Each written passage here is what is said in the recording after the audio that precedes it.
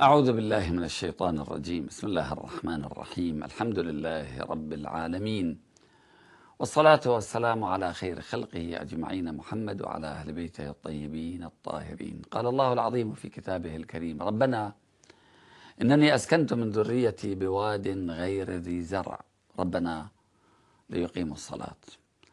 آمنا بالله صدق الله العلي العظيم. بين رضيع إبراهيم الخليل إسماعيل وبين رضيع الحسين قواسم مشتركة ومفارقات. كلاهما وضع رضيعه في موقف حرج. إبراهيم جاء بهاجر ومعها إسماعيل وهو رضيع إلى أرض غير ذي زرع.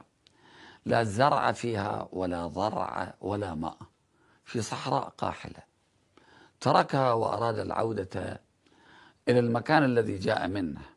فقالت أربك أمرك بهذا؟ قال بلى.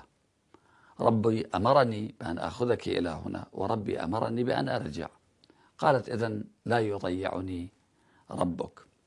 وما ضيعها الله عز وجل وما ضيع إسماعيل. عطش إسماعيل. ولم ترفع فقط يديها إلى السماء وتقول يا رب اسق رضيعي وإنما سعت للحصول على الماء. وركضت ما بين الصفا والمروة سبعة أشواط ثم لم تحصل على الماء. كانت ترى السراب وكلما وصلت إلى المكان لم تجد ماء. عادت لكي ترى وضع ولدها. وإذا بنهر جار من تحت قدميه وهو آه، ماء زمزم.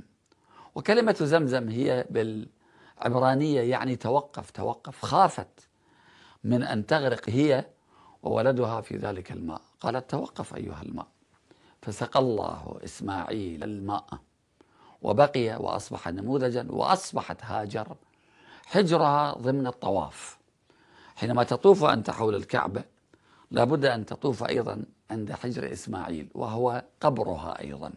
وحجر إسماعيل يعني حضنها حيث كانت تحمل إسماعيل. في كربلاء رضيع الحسين أيضا كان عطشانا والماء كان موجودا لكن العدو كان يتحكم في الماء.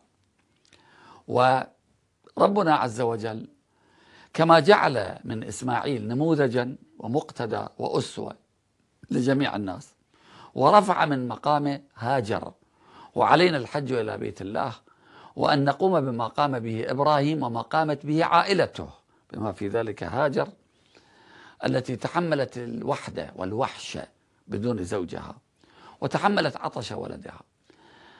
عبد الله الرضيع كان الماء موجودا لكنهم منعوه من شرب الماء فقتل عطشانا وذبحوه وقتل جائعا وقتلوه. ولذلك فإن الله والله سنته في الحياة لا تتبدل لا تتغير. الله الذي وقف مع إسماعيل يقف مع عبد الله الرضيع في هذه الدنيا وفي الآخرة. وسيأتي يوم نرى أن عبد الله الرضيع هو الحاكم على قلوب الناس في كل الأرض. وآخر دعوانا أن الحمد لله رب العالمين وصلى اللهم على محمد وأهل بيته الطيبين الطاهرين.